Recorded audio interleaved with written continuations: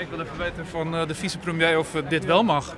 En of eh, geen stijl, waarom geen stijl geboycott moet worden. Terwijl het politiek correcte suffertje NRC Handelsblad wel blote billen mag afdrukken. Er is de afgelopen dagen al het nodige over gesproken. En vandaag haalde de oproep in de Volkskrant en het NRC om geen stijl en dumpert te boycotten ook de agenda van de Tweede Kamer. Na beschuldigingen van seksisme en intimidatie besloot het ministerie van Defensie, net als een aantal bedrijven, om niet meer op beide sites te adverteren. Mijn vraag is, moet NRC Handelsblad ook geboycott worden door de overheid?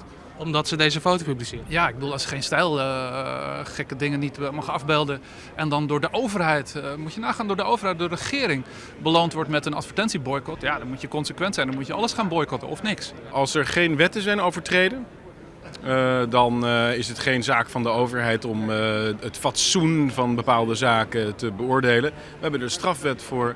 Iedereen kan aangifte doen als hij of zij dat graag wil. En verder leven we in een vrij land. Minister Asje reageerde in de Kamer namens het kabinet op de boycott-kwestie. De media moeten gebruik maken van de enorme vrijheid die er is. En dat gebeurt ook.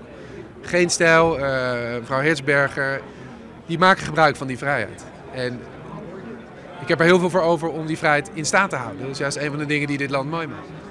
Maar dat betekent nog niet dat er ook verplichting is voor commerciële partijen, voor adverteerders, dus ook niet voor het ministerie van Defensie, om dat met advertenties te sponsoren. Die verplichting is er ook niet. Fatsoen beoordelen ze in Noord-Korea en in Turkije. Laten ze dat daar maar doen, wij zijn een vrij land. Totaal ideaal, walgelijke actie.